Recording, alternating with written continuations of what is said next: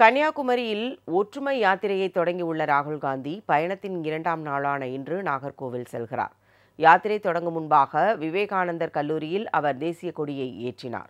இது குறித்து கூடுதல் தகவல்களை தற்போது எமது செய்தியாளர் ஜெய்கரன் வழங்குவதை கேட்கலாம். வணக்கம் ஜெய்கரன். இது பற்றிய விவரங்களை பதிவு செய்யுங்க. வணக்கம் ஜெயா. அதாவது இந்திய தேச ஒற்றுமை பாத யாத்திரை என்ற பெயரில் காங்கிரஸ் கட்சியினுடைய சார்பில் கன்னியாகுமரியில் இருந்து நேற்று பாத யாத்திரை தொடங்கியது. இந்த தொடக்க விழாவில் பார்த்திருக்கிற தமிழக முதலமைச்சர் ஸ்டாலின் ராஜஸ்தான் முதலமைச்சர் அசோக் கெலட் சத்தீஸ்கர் முதலமைச்சர் பூபேஷ் பாகல் உள்ளிட்ட முக்கிய தலைவர்கள் மட்டுமில்லாமல் தேசிய தலைவர்கள் ஏராளமானோர் கலந்து கொண்டனர். இந்த விழாவினுடைய பொதுக்கூட்டம் நேற்று இரவு நடைபெற்றது. அதனைத் தொடர்ந்து இரவு வந்து கன்னியாகுமரியில் உள்ள விவேகானந்தா கல்லூரியில் ராகுல் காந்தி வந்து தங்கினார். இன்று அதிகாலை வந்து ஏழு மணி அளவில் அந்த கல்லூரி வளாகத்தில் தேசிய கொடியை ஏற்றி வைக்கப்பட்டு பின்னர் வந்து தேசிய கீதம் பாடப்பட்டது.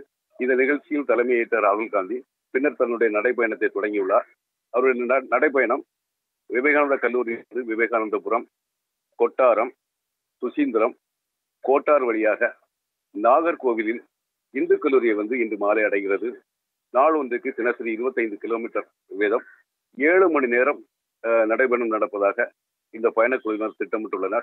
கன்னியாகுமரியில் இருந்து நூத்தி ஐம்பது நாட்கள் பனிரெண்டு மாநிலங்கள் இரண்டு யூனியன் பிரதேசங்கள் வழியாக மூவாயிரத்தி ஐநூறு கிலோமீட்டர் தூரம் சென்று காஷ்மீரில் சென்று இந்த பயணம் நிறைவு பெறுவதாக இந்த திட்டமிட்டுள்ளனர்.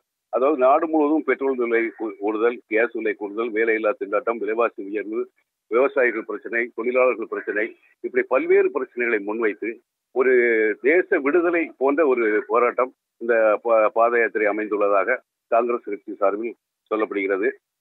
இது நூத்தி ஐம்பது நாட்கள் முடிந்து இந்த பாத யாத்திரை நிறைவு பெறும்போது அரசியலில் மிகப்பெரிய ஒரு மாற்றத்தை ஏற்படும் என காங்கிரஸ் தரவில் நம்பிக்கை தெரிவித்துள்ளனர் தகவல்களுக்கு நன்றி ஜெய்கரன்.